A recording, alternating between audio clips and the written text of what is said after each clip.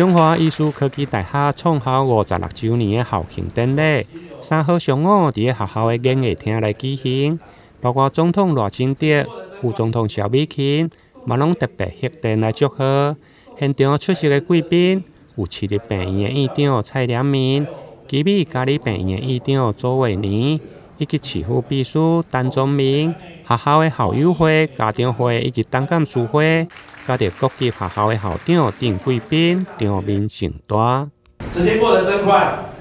我们学校创校已经五十六年了。在校庆典礼这个重要的日子，首先要感谢各位贵宾、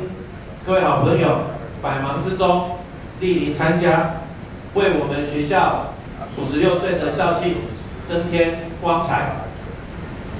五十六年前的中华医大和如今的中华医大，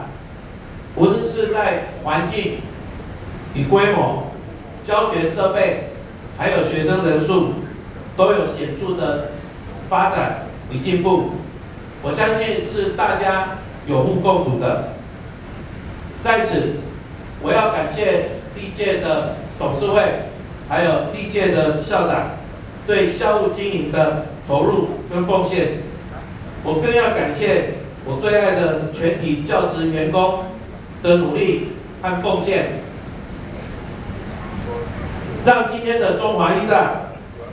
在医师健康人才的培育上累积了卓越的成果。典礼当中，校长孙义民嘛特别颁发今年的杰出校友奖。今年的杰出校友有卜敏正、李依熙、高金鹏、李英杰、许惠美。陈玉琪、陈世伟、许林珍、甲着胡家伟等高位，当选人拢是该校无共年代甲科系毕业，伫个各行各业有真好的成就。